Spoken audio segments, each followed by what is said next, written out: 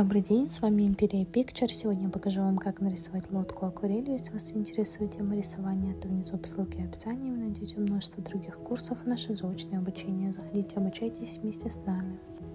Для наброска возьмем карандашик HB на акварельной бумаге, наметим часть суши и часть воды. Воды будет больше, на берегу мы рисуем вытянутую длинную лодку с острым кончиком на переднем плане и более тупым на дальнем плане. Затем рисуем край ее и внутри добавляем сиденье,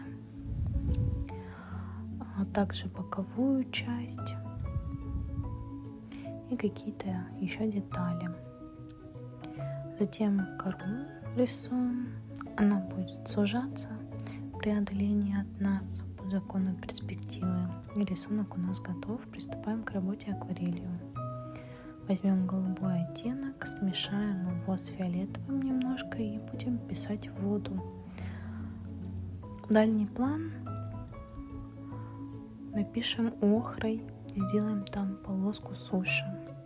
Продолжаем писать воду. Пока вы это делаете, я вам напомню, что в нашей художественной школе открылось заочное обучение. Теперь вы можете не просто рисовать красивые картинки дома, а получить дополнительное образование в области изобразительного искусства и сделать любимое дело своей профессией.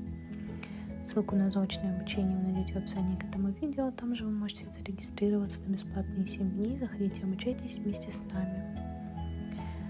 Смешиваем разные соотношения цветов и оттенки добавляем друг к другу, так будет выглядеть живописнее. Теплые оттенки суши тоже можно вписывать в море. Затем берем коричневые цвета, немножко туда подмешиваем наши голубые, пишем сушу, под лодкой добавляем более темный коричневый цвет и намечаем им же тени, оставляя первый слой просвечивать через второй. Теперь мы возьмем рыжий оттеночек, такой коричневый, и запишем внутреннюю часть лодки. Затем еще добавим детали на берег. Возьмем темно-коричневый оттенок, усилим глубину тени под лодкой, добавим холодных оттенков на дальний план, голубо-фиолетовых, подчеркнем границу суши и воды.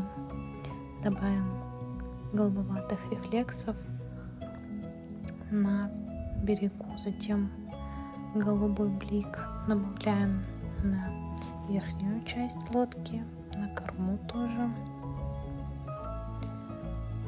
После берем голубой оттенок, подмешиваем туда немножко коричневого и фиолетового можно капельку добавить и проявляем фактуру воды в виде мазков, чтобы в ней появилась жизнь.